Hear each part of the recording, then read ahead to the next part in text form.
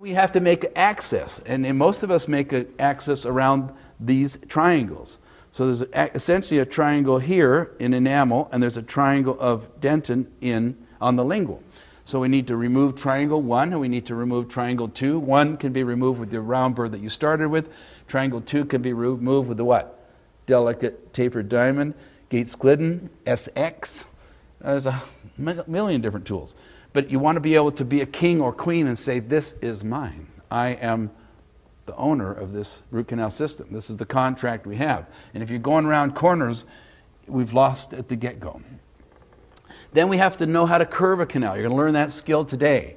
I'm going to watch your motion on how to curve a canal, make it a file rather, and make it from a dumb file to a smart file. And then we need to know how to follow the canal. So there's different ways to hold the file depending on what we're doing. Are we following? Are we smoothing? Um, just like golf clubs, you hold a uh, putter different than we hold a driver, don't we? And we have to know when we're at the end of the canal, so we need an instrument, Root ZX, to do that. And then we ne- need to know what does the end of the canal mean? Is it the physiologic terminus or the radiographic terminus? What do you want to do when, John? And then we'll need some instruments to shape it with, to clean it with. So we'll need some solutions to clean it with. I'll tell you the right solutions to use. Um, and I'm showing you first, these are the ProTaper Universal. Today we're going to teaching you yet an upgrade from the ProTaper Universal, ProTaper Next. And I can tell you right now, there's three big differences. Do you know what they are? One, it has all the benefits of the geometries of ProTaper.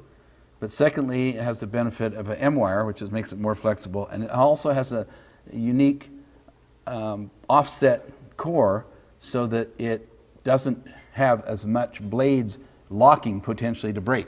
So it becomes a very flexible and forgiving instrument and yet tremendously efficient. And you're going to have the opportunity to test X1, 2, and 3 today, and you're going to have the opportunity to test uh, WaveOne primary. So there's the WaveOne, and there are three files. And the concept here is you choose the one in the middle and hope that that's accurate for what you're doing, and most of the time it is. Maybe 80 to 90% of the time it is. You still got to have a glide path, John, and, and don't forget that. So we need some ways to make the shape. Then we got to remove the what at the end? Smear layer. And so we're going to use Q-Mix to remove that, and you have that. We're going to experience that today. Then we'll make a cone fit, and if you're doing a carrier base, this will be a verifier.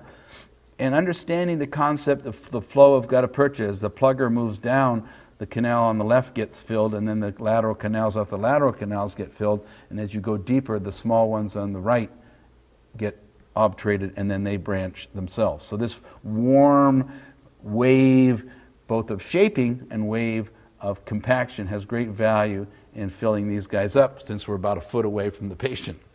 And then to understand that the foramina are not round, and we want have round materials to fill them with, so we have to warm them, or chemical or friction, but warming is the best because it's um, safe and it's predictable. And then you warm the material, it distorts so that the gutta percha interface becomes very narrow, which if we look at it histologically, chopping up a tooth, you can see these bays of sealer, and that's what we don't want. What we want is the gutta percha dentin interface. This is gutta percha, here's dentin. That interface can be made down to the size of a red blood cell, which is, as you remember from school, 10 microns. That's a little tiny space, and if that space is the weakest link, we want to optimize that seal.